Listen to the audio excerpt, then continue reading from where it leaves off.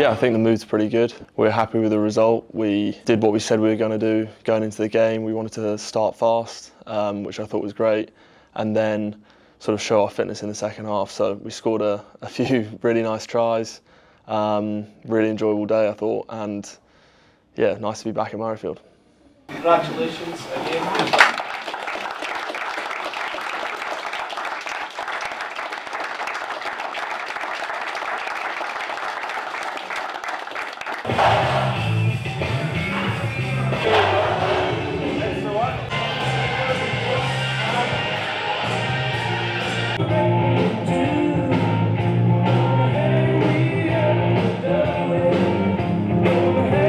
It's obviously a huge game uh, this weekend. We're massively excited for it. We, we obviously came up against them in the World Cup. We are a better side now. You always want to play against the best teams in the world. Uh, it's, it's a huge challenge, and I think it's, it's something that we're really, really excited for.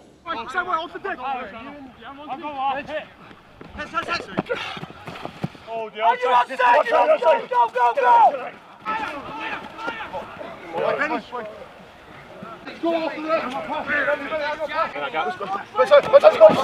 Nothing was really going on Friday, so she gave me her blessing to go and play.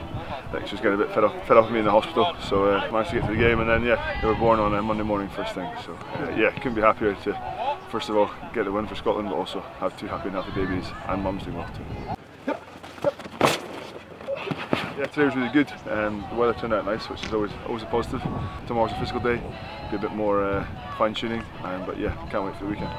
That's it. Let's just all get on the same page before the last session tomorrow. Yeah. Sweet.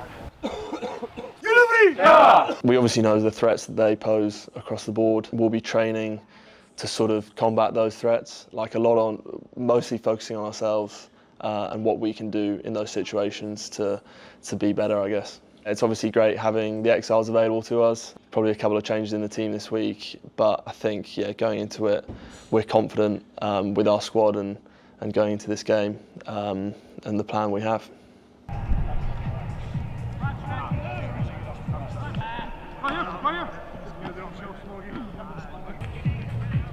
It's been good. Saturday, Sunday game gives us an extra day to uh, prepare. So um, I think we had kind of front loaded the week with all the, the, detail, which was then good for our Thursday session. Um, today was all about just making sure everyone's confident going into tomorrow and everyone's got their, their role clarity. So overall, been a good week, and I think we're we're ready for tomorrow. It's your first involvement of the Autumn Nation series. How much are you looking forward to it? Yeah, it'll be great. I mean, I love playing here at Murrayfield. I love, love playing for Scotland, so it's great to be back involved. Um, my last time I was playing here was Six Nations a while ago, but um, no, it's great getting back. I'm looking forward to, to seeing all the fans coming here, and hopefully it's a, a good game. And the first week for you that Sione's been the captain. How's that been? Oh, it's been fine. It's been good. Um, you know, I love Siona as a guy. We got on really well, and I'm there to support him and, and help out as much as I can. Um, he's been great this week and, and last week. Um, so it's been good this week being in the same team as him and kind of fine tuning a few things for this weekend. But uh, overall, it's been good. Good having him there. South Africa tomorrow. What do you make of them? Oh well, they're in my opinion one of the best, if not the best team in the world just now.